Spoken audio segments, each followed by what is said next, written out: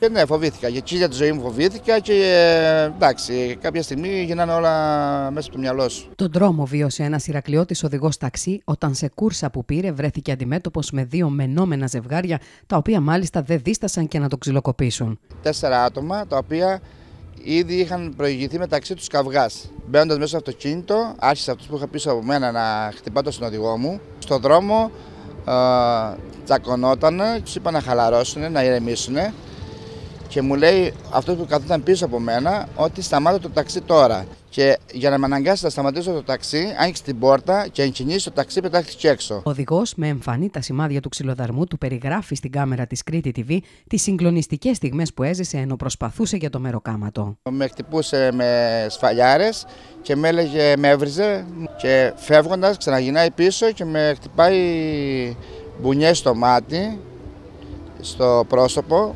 σφαλιάρες, μπουνιές και στο Ναυχένα και πίσω στο, στον καφά, το πούμε, κοινός και χτυπούσε και με τα πόδια του το, το, το, ταξί. Παρά το σαστισμά του, ο οδηγός κάλεσε την αστυνομία, η οποία και έσπευσε στο σημείο. Εγώ πήρα το αυτοκίνητο, έκανα αναστροφή και τους πήρα κυνήγι.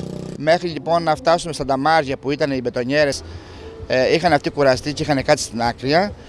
Ε, ξυλοκοπούσε αυτός που με ξυλοκόπησε εμένα, ξυλοκοπούσε και μετά τη γυναίκα, τη δικιά του, σφαλιάρες και τις χτυπούσε με το κινητό στο κεφάλι. Ε, και μετά ξαναγυρνάει πίσω, με ξυλοκοπούσαν και οι δύο μέχρι να έρθει η αστυνομία. Ο άνθρωπος είναι σε πολύ ε, σοβαρή ψυχολογική κατάσταση, έχει υποστεί σοκ.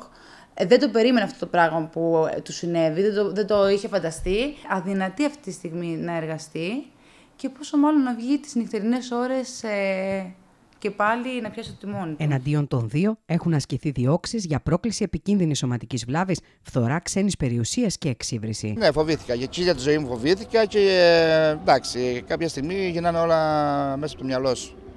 Δεν ξέρεις τι μπορεί να συμβεί. Μπορεί να κατάει άλλο μαχαίρι, μπορεί να βάζει ένα πιστόλι.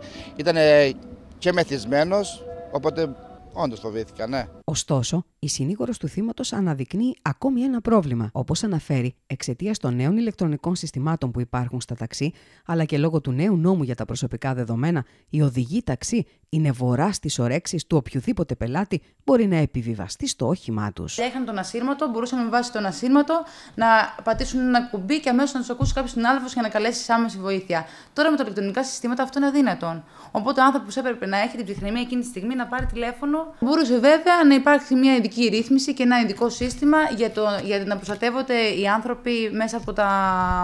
Ε, οι συνεργάτες, μέσα από το ραδιοτοξί που κάθε ένας δουλεύει.